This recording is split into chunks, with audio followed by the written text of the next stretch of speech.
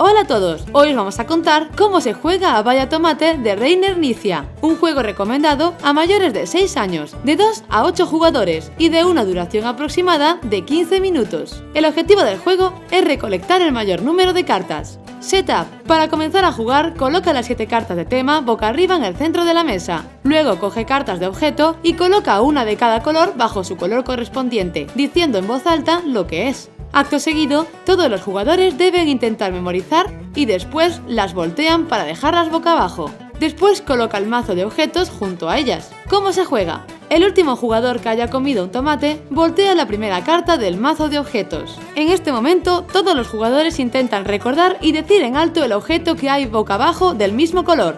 Un jugador solo puede decir un nombre. Por ejemplo, en este caso ha salido una carta del objeto en rojo. En el lugar rojo había un conejo. El primer jugador que diga en voz alta conejo se lleva la carta como punto de victoria.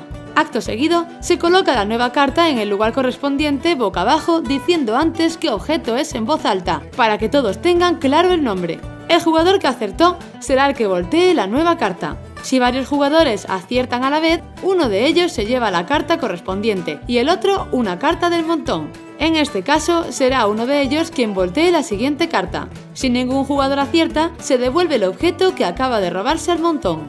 La partida termina cuando se acaba el montón de objetos. Gana quien haya conseguido más cartas. Y hasta aquí la guía de cómo jugar a Vaya Tomate, un divertido juego de memoria y granjas. Esperamos que os haya gustado el vídeo, comentad que os ha parecido Vaya Tomate y si aún no lo habéis hecho, suscribiros al canal. ¡Hasta luego!